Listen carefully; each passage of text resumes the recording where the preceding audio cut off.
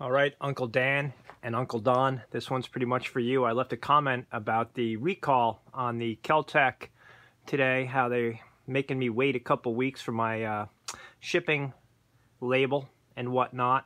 And then you responded and told me how you know of a guy that said they had his gun for a while.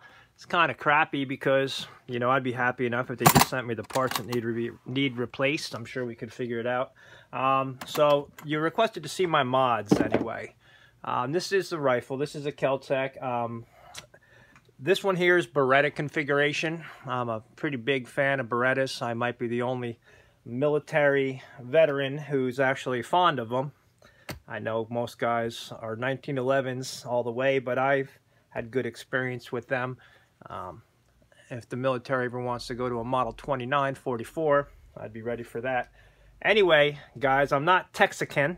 I'm from Pennsylvania, so maybe we'll come up with a new word. Pennsylvanican. Pennsylvaniacan. I don't know. Pennsylvanican. Pennsylvanican. I'm Pennsylvanican. But I got this here thing. All right, the biggest problem I have with the rifle, and I'm going to get to the mod in a second, is with the Beretta model, for whatever reason, it's got this here flare at the pistol grip.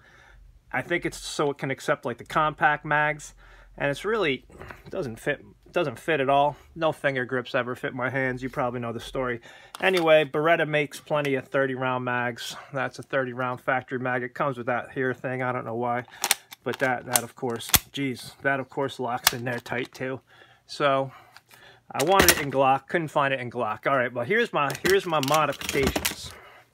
All right, number one, I took off that here clip that locks that in place because I really found I have no reason to lock it folded.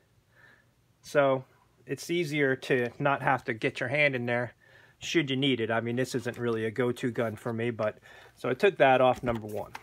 All right, number two, one, two, four top rails here. I don't know if we're going to see this on the camera. I flattened them out. Okay, try to get it as level as I could. I flattened them out here by hand. I think I had a file because if you know, you know how these guns are. This has some weird ass uh, taper to them. And I noticed when I remove and put on my red dot, it lines up better by keeping them rails flat. So I did that. The other mod is back here. Let me fold it just for the video's sake here. The other mod is back here in the butt buttstock.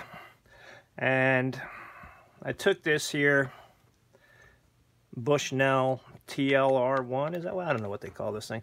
Bushnell Scope Red Dot. And all I did, I took an old Picat Picatinny rail here, a little chunk of that that I had lying around from another AR or something like that.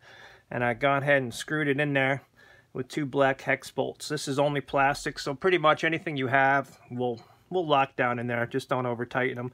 And that way I can still carry the gun per se with that. Of course, if I was in the woods or doing whatever I'm doing and I had my mag in there, if the bolt was locked back, all I would need to do is obviously boom, boom, boom, hit the bolt, and then I can engage something with the iron sights. And then when shit calms down, go ahead and pop that red dot on. But that's all there is to my mods, guys.